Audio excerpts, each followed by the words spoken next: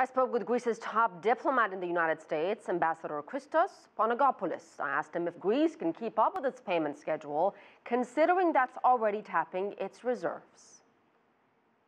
As of yesterday, there was a meeting of the Eurogroup, you might be aware, and they came up with a pretty uh, positive uh, declaration about Greece that progress has been made. Of course, you when you have negotiations, you might need some more time to complete but there's a positive spirit on both sides that we can complete the agreement. Since uh, and when we're going to complete the agreement, things are going to be more normal. Are there specific economic reforms that um, European neighbors want Greece to implement? Absolutely. We are first of all for these reforms. First of all, the taxation system, which is infamous all over the world, that uh, the Greeks, they do not, and in the past they didn't pay their taxes according to the constitution. This new government, the previous one, made an effort, but this one is more determined to, uh, uh, I mean, to realize a rational system of taxation. And believe me, if they make everyone pay according to his her uh, capacity, uh, the crisis would be uh, history. Ambassador, what is the worst case scenario, or have we already reached that point? When we are in a fight, we don't think about the worst case scenario. We are determined to find a solution. As a matter of fact, if you take a strategic view, you see that it's a win-win situation to come to an agreement. The lenders, what do they want? They want their money back. If we fail, that's a hypothetical question, I mean, right now, they lose their money, no? So they have every vested interest to help us get out of this crisis. And of course, we don't like our country to go down the drain We'd like to come back to normalcy, and that's why we are negotiating with them. I believe it's a matter of uh, weeks. I don't like to put a timetable into this because there are negotiations underway right now, but uh, pretty soon we're going to have a positive outcome. And you believe the current government has a clear strategy on how to deal with this crisis? I believe that we have a strategy, what we want to do, but in negotiation, you know, you uh, give this, you take another thing, that's what the negotiation is all about. There's been a lot of talk and speculation what would happen if Greece left the Eurozone.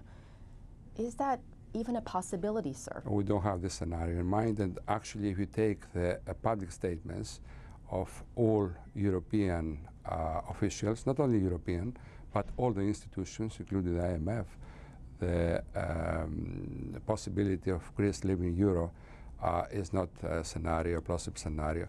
By the way, uh, uh, there's no institutional way for a member of the Eurozone to get out of this.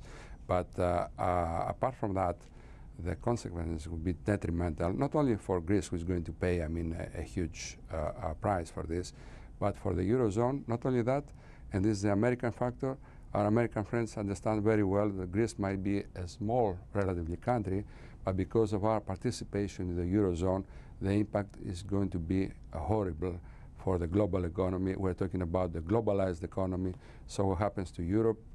Small player probably, but through our participation in the Euro, Eurozone, the impact is going to be detrimental for the so far quite anemic uh, global growth.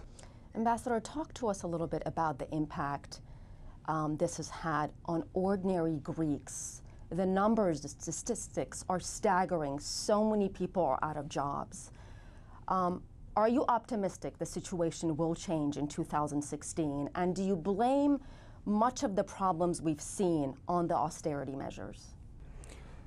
Uh, it's not the time for the uh, blame game right now. Obviously, the, the recipe that was suggested by our uh, uh partners and lenders was not the right one. And this is quite evident after five years of unbelievably peacetime austerity, uh, we're back to square one, unfortunately. Uh, so we have to try something else. I'm very optimistic, like the government is, and uh, like our European uh, um, partners and our American partners also, and they're supporting us every single moment in this negotiation. But uh, I believe if we allow some more time, we're going to have concrete results. Uh, the most ugly phase, the unemployment you can't imagine how you feel like if you see young, talented people. They uh, hold degrees from the best universities uh, all over the world, uh, being unable to find something uh, to work. This, is, I mean, a terrible uh, smash of the uh, dreams the young generation is, has the right to do. And we are determined to change this.